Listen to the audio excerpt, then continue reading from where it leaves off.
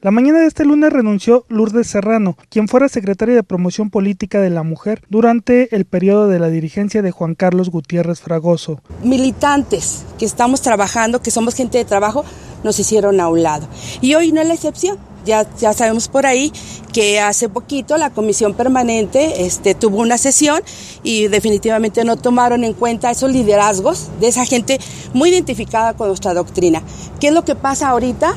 Que es la crisis más fuerte de identidad que está viviendo el partido. Al comité directivo municipal han llegado solo cuatro renuncias, sin embargo, ha habido más afiliaciones al partido. Así lo asegura Jorge Luis Yescas, quien es el secretario general del comité directivo municipal del PAN. Todos los días hay suma de, de personas que quieren la alternancia, entonces todos los días hay personas que se suman al proyecto, lo hemos estado viendo en el comité estatal, en el comité municipal y por la calle no son militantes, son personas afines al proyecto que encabeza Acción Nacional.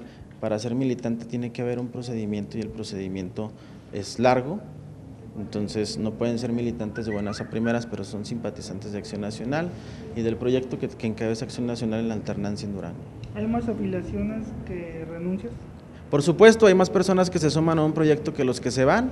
Hasta el día de hoy sabemos que se han ido cuatro a nivel estatal, como lo vemos ahorita con su renuncia en mano pero son más personas las que día a día llegan. Tenemos más jóvenes todavía esta semana que la semana pasada, ustedes lo pueden ver con Ernesto Ríos, que es el dirigente, entonces él suma jóvenes todos los días. Personas y familias se suman todos los días al proyecto de Ispuro.